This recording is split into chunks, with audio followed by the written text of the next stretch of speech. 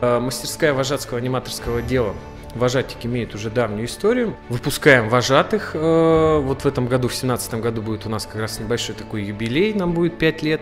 Сотрудничаем с различными детскими лагерями. Это, прежде всего, Красная Горка, с которой мы уже имеем определенную, можно сказать, э, традицию взаимосвязи. Это Зеленая Республика, это Солнечный мыс 2, это юбилейный. Прежде всего, наша главная цель – это трудоустроить ребят, ну, чтобы они провели прекрасное лето, не только, как говорится, в труде, но и смогли реализовать себя, они смогли бы насладиться э, красками, можно так сказать, в кавычках, летом, э, понять, что такое вожатское дело.